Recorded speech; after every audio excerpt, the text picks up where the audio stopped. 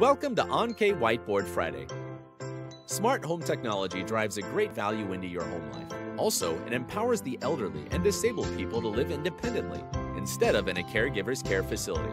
Smart home technology helps them automate the smart home devices. Life gets more simple and safe in this way. Here are seven assistive smart home technologies that help with independent living for the elderly and disabled. Smart Hubs. A smart home hub is the center of your home network. Elderly and disabled people can control smart home devices through a hub. Smart thermostats. A smart thermostat is the best way to adjust the temperature and humidity in your house. It can display the correct environmental data for the elderly. Smart lighting and outlets. A smart light switch or plug is an effective tool to keep disabled people away from electricity leakage or electrical fire.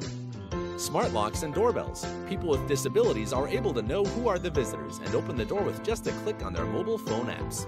Smart curtains or blinds. Smart curtain controller helps disabled and elderly people enjoy the warm sunshine in winter and stay away from the strong daylight in summer.